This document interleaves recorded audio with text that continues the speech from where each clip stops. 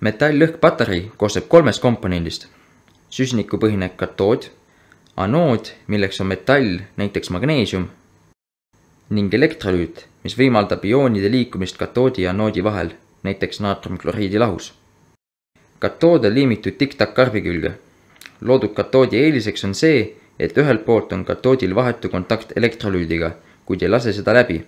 väljaspoolt pääseb õhuhapnik katoodi pinnale, et reaktsioonid saaksid toimuda karbis on juba tööks vajalikud katood ja anood ning elektrolüüdi lisamisel tekib reaktsioonide mõjul elektrivool. katoodi pinnal toimub reaktsioon hapnikuga ning anoodil toimub metalli lahustumine. metall-lõhkpatarii on suure potentsiaaliga energiasalvestusviis, kasutamiseks näiteks autodes.